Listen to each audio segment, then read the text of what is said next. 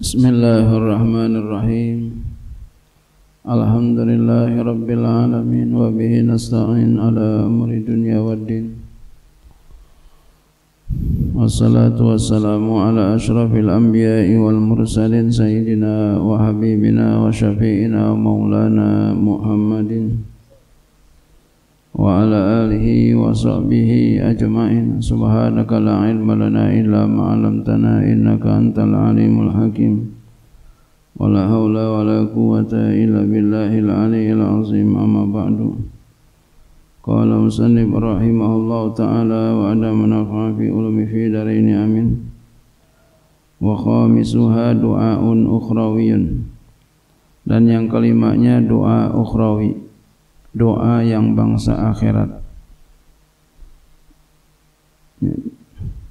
Yang kelima daripada rukun dua khutbah. Jadi doa untuk akhirat.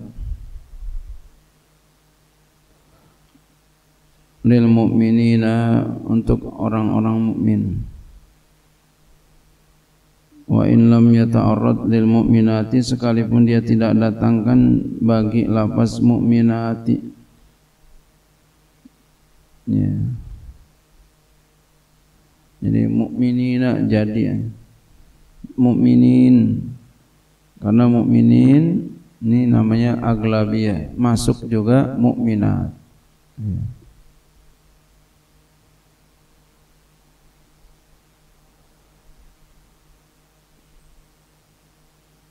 Sama dengan ada hadis tolabul ilmi faridatun ala kulli muslimin.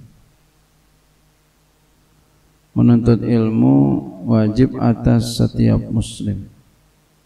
Itu enggak dikatakan riwayat itu ada riwayat muslimin wa muslimatin. Tapi kata ulama riwayat yang mengatakan muslimin itu lebih kuat Artinya apa? Enggak apa-apa dikatakan muslimin aja. Namanya aglabiyah. Dikatakan muslimin ikut muslimatin. Begitu pula ini. Dikatakan muslimin itu ikut mukmin mukminat ikut. Allahumma gfir lil mu'minin. Jadi aja begitu, cukup. Kita biasanya lengkap. Allahumma gfir lil mu'minina wal mu'minat. Kita lengkapin aja ya sebagaimana berlaku di masyarakat kita. Jangan eh, kita jangan khalif tu'rab ya. Takut ada nafsu ya.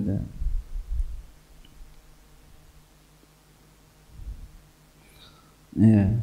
Khilafan lil Azra'i beda ya. Berbeda kepada Imam Azra'i. Ini lain halnya Imam Azra'i. Jadi Imam Azra'i mesti mengatakan mukminat. Lil mu'minina wal mu'minat mesti begitu.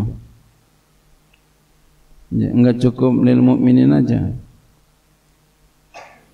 Fi khutbatin saniyatin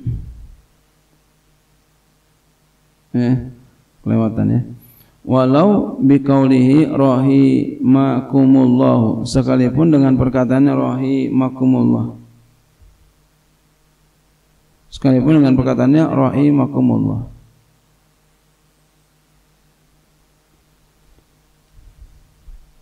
Jadi doa begini cukup.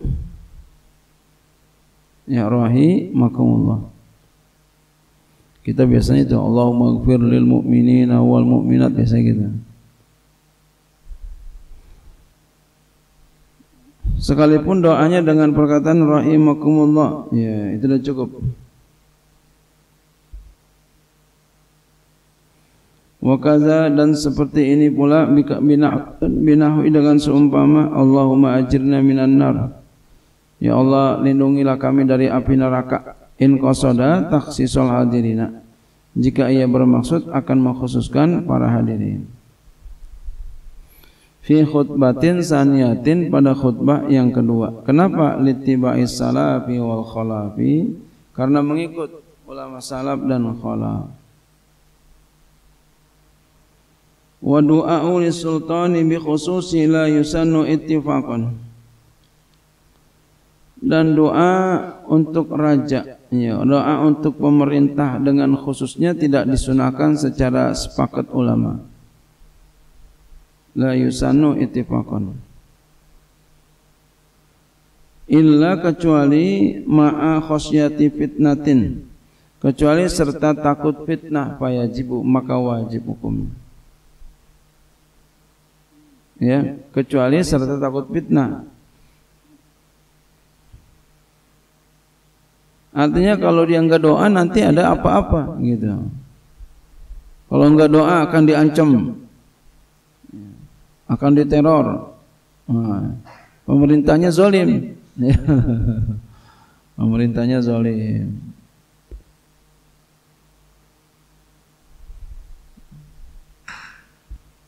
Yang diancam mesti doa, awas enggak doa. Kalau enggak doa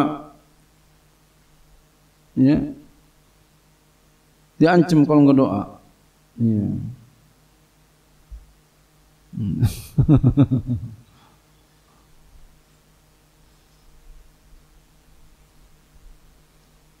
ya. Fayajibu maka ketika itu menjadi wajib wa ma'a adamiha dan serta tidak ada fitnah la ba'sa maka enggak apa-apa. Artinya sesuatu hal yang mubah aja. Ya, boleh dikerjain boleh enggak la ba'sa.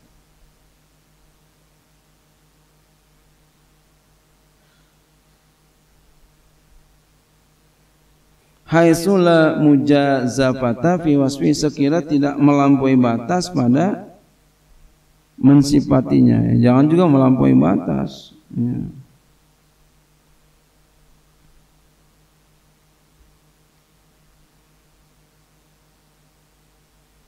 Ya, melampaui batas ya. jadi memuji pemerintah melampaui batas ini enggak bagus. Seperti apa dikatakan dia adalah seorang yang adil dia adalah seorang yang suka memberi. Setiap orang yang punya hak akan haknya dia tidak melakukan kezaliman. Ya umpamanya gitu. Kan kagak tahu. Jadi ya enggak boleh memuji. ya, tidak boleh mensifatkan pemerintah dengan sifat ya. Wala yujuzu enggak boleh ya. ya. Ihaisula mujazafata fi wasfi sekira, sekira tidak melampaui melampaui batas pada mensifatkannya. Jadi jangan melampaui batas.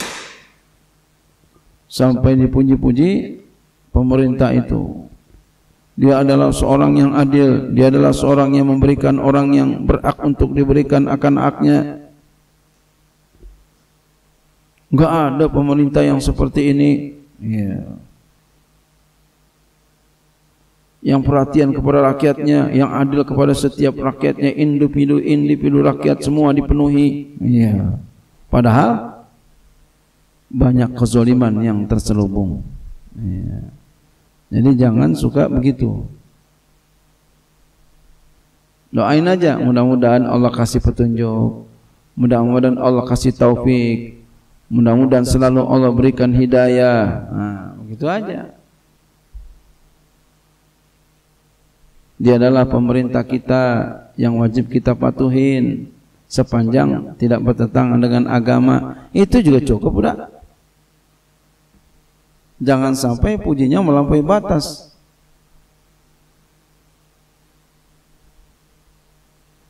Apalagi sampai cari muka supaya dapat jabatan. Innalillah wa inna ilaihi rajiun. Ya. Jangan sampai begitu. Di situ berarti apa? Ada nafsu. Wala yajuzu tidak boleh wasfuhu mensifatkannya ya bisifatin kazibatin. Tidak boleh mensifatkannya mensifatkan pemerintah dengan sifat yang dusta. Ya. Dibilang raja yang ya, presiden yang perdana menteri yang suka perang maksudnya membela negara. Kalau perang paling depan padahal enggak suka ikut. padahal di belakang mulu gitu. yang enggak punya utang padahal utangnya banyak. Enggak pernah zalim sama ulama padahal zalim sama ulama. enggak pernah nyakitin orang padahal nyakitin orang.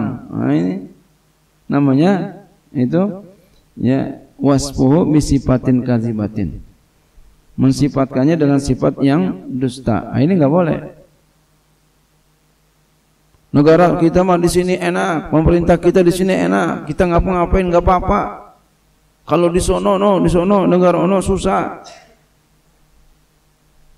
Padahal dia nggak tahu. Ya. Yeah. Ini nggak boleh kayak begini.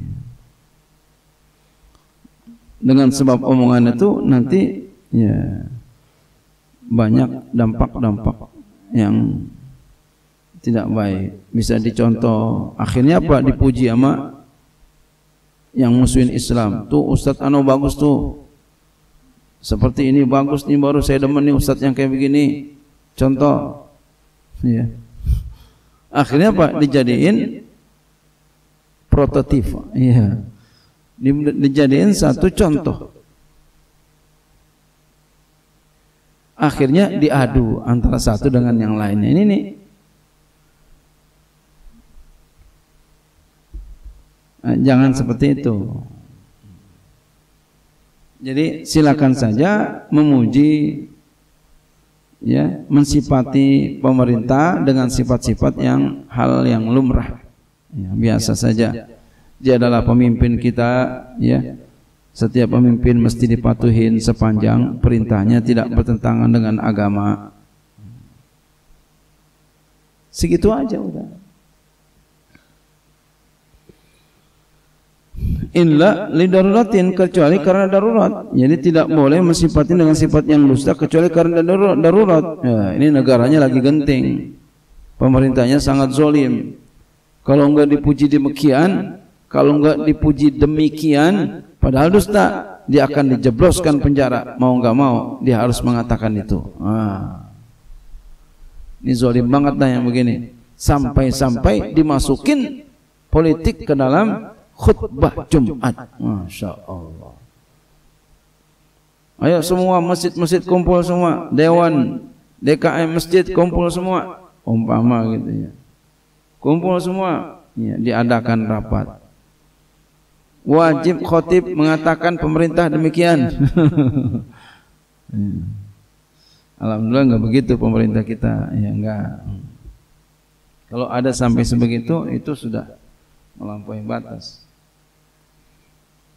wa yusanu dan disunahkan doa doa li ulati sahabati qat'an disunahkan akan doa bagi pemimpin sahabat secara qat'i artinya sahabat yang menjadi pemerintah itu disunahkan doa qat'an bila khilafin. Qat'an itu bila khilafin tanpa khilaf ulama. Ya, tanpa khilaf ulama. Artinya sunnah hukumnya doain sahabat yang jadi anggota pemerintah atau pemimpin dalam kepemerintahan. Seperti siapa? Sayyiduna Abu Bakar Siddiq yang kita suka baca gitu ya. Abu Bakar Siddiq radhiyallahu an. ya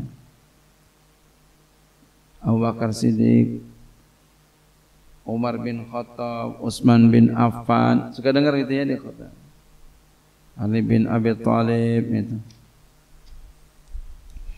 Wa kaza li ulatil muslimina wa juyusihim. Wa kaza dan seperti ini pula artinya disunahkan doa untuk mereka ya.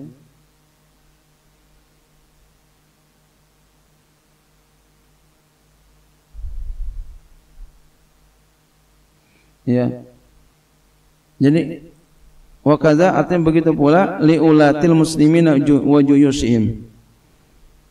Begitu pula bagi pemimpin-pemimpin kaum muslimin dan tentara mereka. Artinya kaum muslimin yang jadi pemerintah boleh kita doakan di waktu kita lagi berkhutbah. Doa bis dengan baik, wan nasri dengan menolong, wal qiyami dapat melaksanakan bil adli dengan keadilan. Jadi jangan kita selalu sibukin hati kita dengan mencela pemerintah. Tapi dekatkanlah diri kita kepada Allah Subhanahu wa taala berdoalah kepada Allah Subhanahu wa taala doakan mereka agar Allah Subhanahu wa taala berikan taufik hidayah supaya Allah lembutkan mereka. Ya. Jadi kita juga biar adil biar bijaksana sebagai uh, penyampai risalah. seorang yang dipanggil ustaz, seorang yang dipanggil kiai, ya pemerintah sebagaimanapun dia zolim, tapi kita harus bijaksana. Bagaimana menyikapi umpama pemerintah yang zolim? Bagaimana menyikapi? Harus bagaimana? Biar adil. Jangan juga pemerintah kita kata-katain celak-celak ya. Nanti nggak damai-damai. Ya. Jadi bagaimana doain aja. Doain kecuali memang dia melakukan kezaliman yang jelas, zolimnya itu aja yang kita kalau memang kita mampu ya kita sampaikan kebenaran namun yang selanjutnya yang selainnya jangan suka kita mencela mencela ya.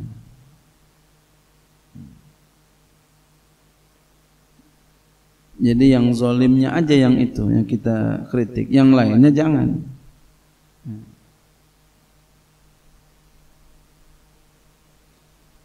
Ya.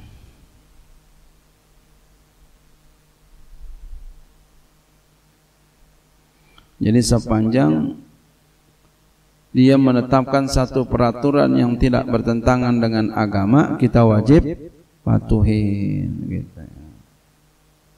Kalau enggak bertentang kalau bertentangan ya jangan dipatuhin.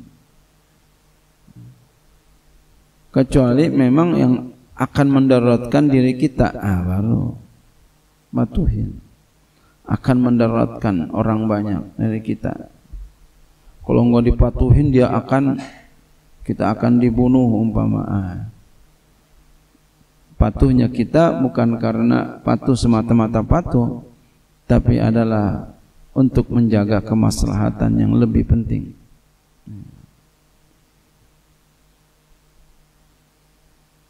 Ya, jadi kendati umpama pemerintah umpama ya zalim kita zolimnya saja yang kita berikan nasihat.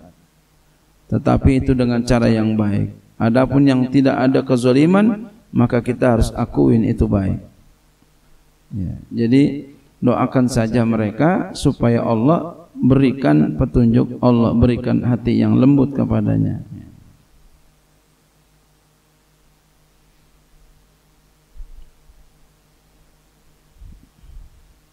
Nah, itu itu uh, kita bersikap kepada pemerintah. Doain biar Allah berikan petunjuk taufik hidayah.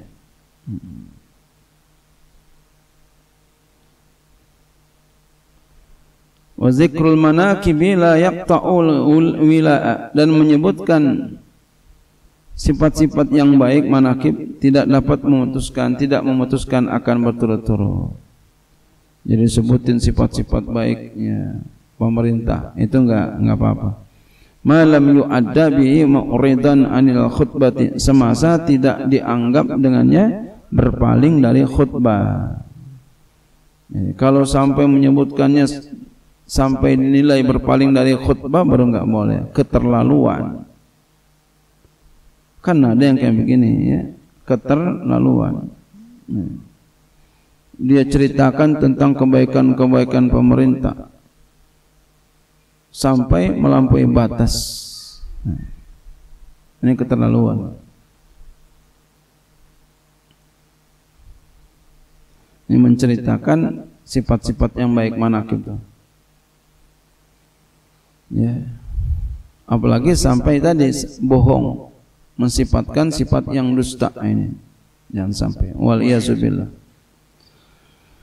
Wa fi tawassuti yustaratu alla yutila'u italatan taqta'ul umuwalata. Dan di dalam kitab Al-Tawassut disyaratkan bahwa tidak boleh seorang khatib memperpanjang khut memperpanjang dia ya. Enggak boleh memperpanjang dia, memperpanjang doa tadi. Dia perpanjang doa akan panjang yang dapat memutuskan mualah.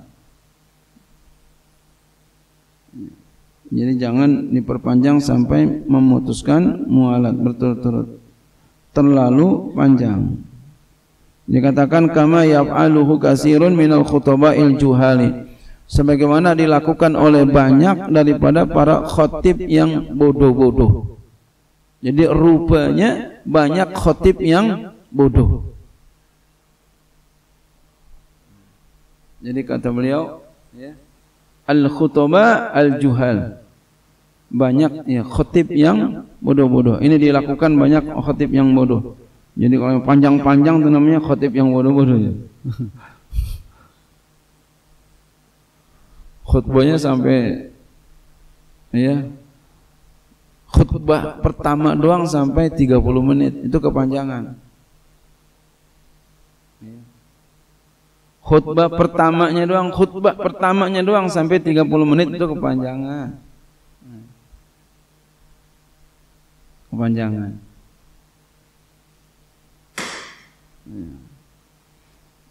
Jangan sampai segitu. Maksimal banget ya 20 menit itu ya 20 menit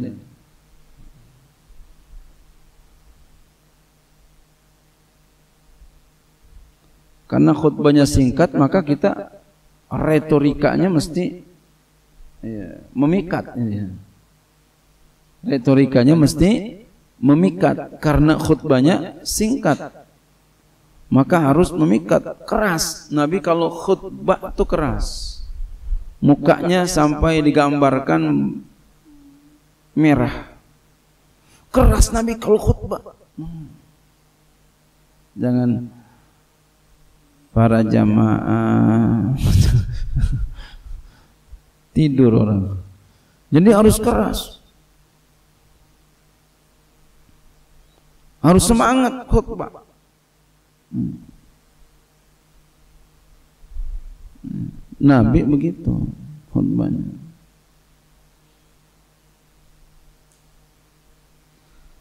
Kalau Syekhuna berkata guru kami walau syakka fi tarki fardin minal khutbati ba'da faraghiha lam yu'assir Jikalau ragu ia pada meninggalkan fardu daripada khutbah setelah selesainya maka tidak memberikan pengaruh.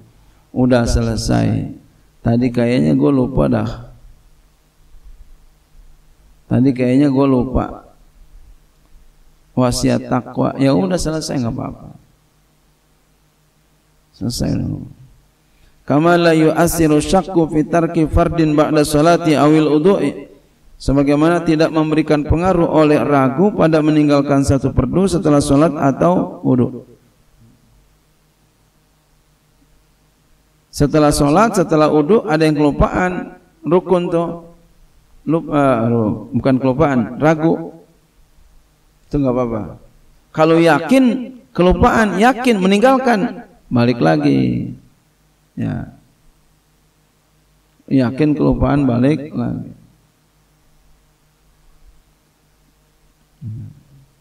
jangan jangan diam aja baik lagi Jadi beda yakin dengan kelupaan, uh, yakin dengan ragu-ragu. Jadi kalau habis sholat, habis wudhu, ada yang ragu-ragu. Kayaknya, kayaknya tadi gua kagak baca fatihah dah. Ya. Tapi udah selesai sholatnya, ya udah nggak apa-apa. Kecuali yakin, duh tadi gua nggak baca fatihah, lupa banget. Ya. Yakin, baik lagi sholat lagi kalau waktunya masih dekat isti, uh, binaan lanjutin. Kalau waktunya udah lama istiqnapan ulang dari awal. Wallahu a'lam bishawab wa syurita fi